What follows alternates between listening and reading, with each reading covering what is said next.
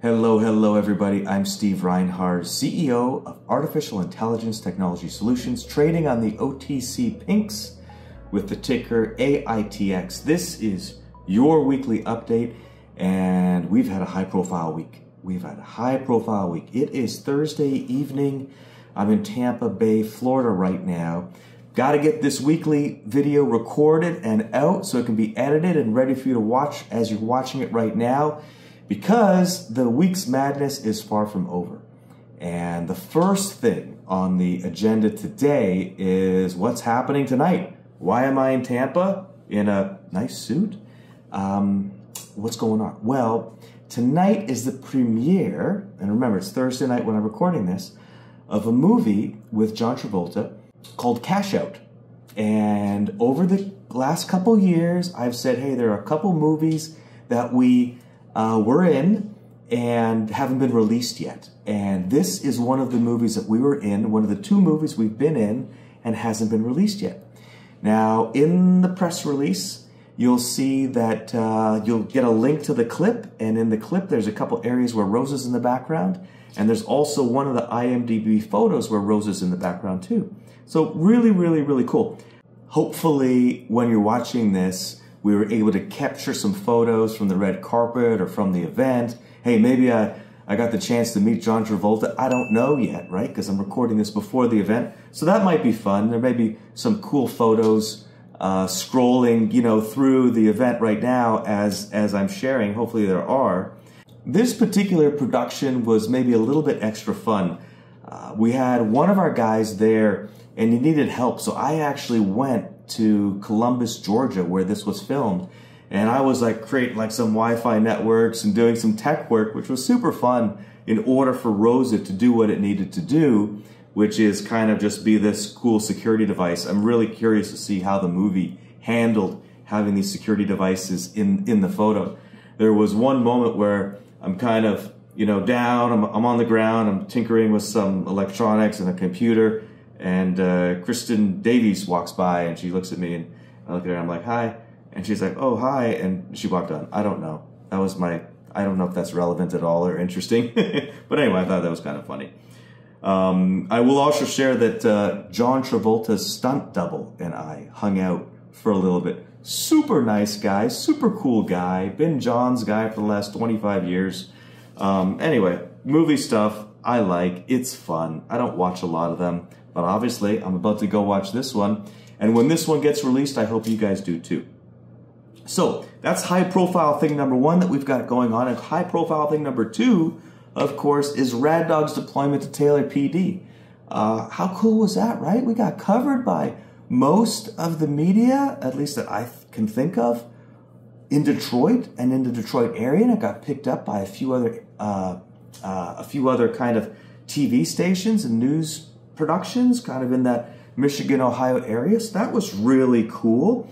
The quotes that we got from the mayor, from the chief, from some of the support staff of how important Rad Dog could be for officer safety, situational awareness, de-escalation, absolutely added more fuel to where I think we're going to take Rad Dog.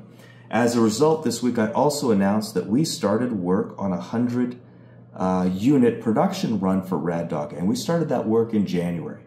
I decided to issue that news to you this week because following on the heels of how well Taylor accepted their first Rad Dog, I said, okay, now is the time to share with our fans, followers, and investors that we're leaning into this, that we have a vision of an autonomous remote device operating semi-intelligently with police officers in the next three years en masse. We'll see how that works, but at least you know that we have that in the vision and we're working towards that. Along the same lines of talking about the Taylor PD deployment, big shout out to them, big shout out to the mayor, big shout out to the chief, big shout out to everybody else we met, including SWAT. Today, Thursday, I saw some video of SWAT training with the Rad Dog, and it was really cool we have a request into them to see if we can actually share it publicly. Um, I think it will be denied, but I got to see it and it was really cool. So I'm excited to see Rad Dog perform in the field and really help out that police department. switching gears, earlier in the week, I think it was Tuesday morning, I got to the Rex, which was my first time to the Rex this calendar year. I don't think I've been back since early December. So it's been a long time. And I got there and I looked around and I took a video and I shared it with everybody. And the video was like, wow, you know, parking lot getting full. Uh, we got a fenced off yard for additional materials that we're laying down. We have a 40 foot container on site, further expanding our space. And uh, just giving credit to our guys who run the Rex, right? Using the space as well as possible. So I thought that was fun to share. And of course, I referenced uh, years ago when we had, you know, internet trolls saying the Rex isn't real. I mean, so ridiculous, right? It's those same people that attack and criticize anything and everything that we say. Anyway, just wanted to throw that out there. The other thing that's happening right now, as I am here in Tampa, is we are kicking off a healthcare event with Allied uh, in Nashville. And we've got a few of our people there, so we're in very good hands there. A bunch of allied people and some great end users from healthcare. This is kind of a rad slash allied hosted event because, you know, we're contributing financially to it. And of course, we're featuring Rad Light My Way. So I'm excited to hear what the outcome of that is. Hopefully, it's, it's a handful of high value leads with great potential going into the funnel, but we'll see. Needless to say, it's always fun when we team with Allied and always something that if it's public, I want to share with you. Okay, everybody, we're wrapping up the weekly. It's a quick one, I know, but hopefully some good information in there for you. Next week, no travel for me, uh, which I'm looking forward to.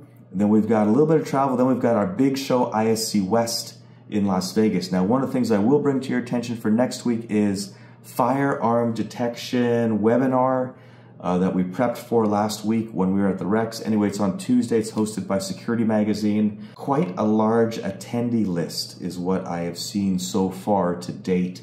So that's pretty exciting. Anyway, guys, we're out there, we're working, we're making progress. Thank you so much. Hope you had a great week, and I hope next week's even better. Best.